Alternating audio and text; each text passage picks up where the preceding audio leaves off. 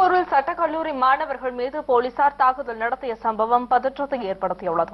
திருப்பூர் வழக்கு காவல் நிலையத்தில் வழக்கு ஒன்றில் விசாரணைக்கு வந்த சட்டக்கல்லூரி மாணவனை போலீசார் தாக்கியுள்ளதாக கூறப்படுகிறது. இதற்கு நியாயம் கேட்டு சக மாணவர்கள் சிலர் காவல் நிலையத்தை முற்றுகையிட்டு போராட்டத்தில் ஈடுபட்டனர்.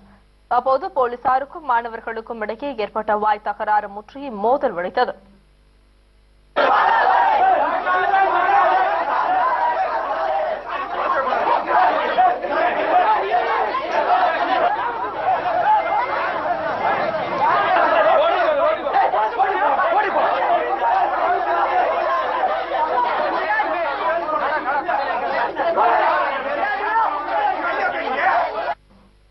புகார் தொடர்பான விசாரணைக்கு வந்த மாணவனை தகாத வார்த்தையில் திட்டியதோடு அவர் மீது போலீசார் கொலை வரை தாக்குதல் நடத்தியதாகவும் சட்டக்கல்லூரி மாணவர்கள் புகார் தெரிவித்தனர்.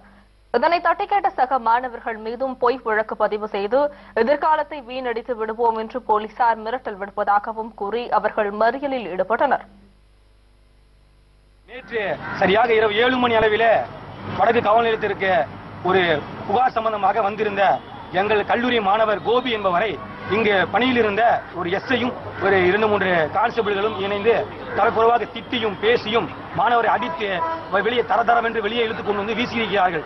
இதை கேட்ட பிற மாணவர்கள் மீதும் த- போலி வழக்குகளை பதிவு செய்து உங்கள் எதிர்காலத்தை வீணாக்கி விடுவோம் என்றும் அசியசியமான வார்த்தைகளை திட்டியும் நேற்று இரவு பதினோரு மணி வரை இங்கு வைத்து அவர்கள் விசாரணை செய்யும் நோக்கத்தோடு அவர்களை வந்து ஒரு முறையற்ற சிறை வைப்பில் வைத்திருந்தார்கள். இதை கண்டித்து வடக்கு காவல் திருப்பூர் மாவட்ட வடக்கு காவல் நிலையத்தை அரசு சட்டக்கல்லூரி மாணவர்கள் இன்று நாங்கள் ஐம்பது பேர் முற்றுகையிட்டிருக்கின்றோம். அவர்கள் மீது கொலை மிரட்டல் கொலை மிரட்டல் விடுத்தல் அஹ், தற்போ கொலை கொலைவெறியோடு தாக்குதல் மற்றும் அவமரியாதை செய்தல் போன்ற மனித உரிமை மீறல் போன்ற பல்வேறு விதமான வழக்குகளின் கீழ் அவர்கள் மீது வழக்கு பதிவு செய்யப்பட வேண்டும். ஒரு நீதி விசாரணை நடத்தப்பட வேண்டும். இல்லையென்றால் மாணவர்களுக்கும் பொதுமக்களுக்கும் நடக்கின்ற இந்த காவல்துறை அராஜக செயலானது தொடர்ந்து போய்கொண்டே போய்க்கொண்டே இருக்கும். எனவே காவல்துறை மீது காவல்துறை சம்பந்தப்பட்டவர்கள் மீது சரியான நடவடிக்கை ஒரு நீதி விசாரணை நடத்தப்பட வேண்டும். இல்லையென்றால் இந்த போராட்டமானது தமிழகம் தழுவிய மாபெரும் மாணவர் போராட்டமாக தமிழக காவல்துறைக்கு எதிராக நாங்கள் நடத்துவோம் என்பதை இதன் மூலம் தெரிவித்துக் கொள்கிறோம்.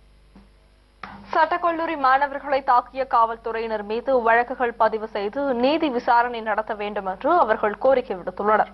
அரசு நடவடிக்கை எடுக்க தவறும் பட்சத்தில் மாநிலம் முழுவதும் பல்வேறு கட்ட போராட்டங்களில் மாணவர்கள் ஈடுபட போவதாக எச்சரிக்கை விடுத்துள்ளனர்.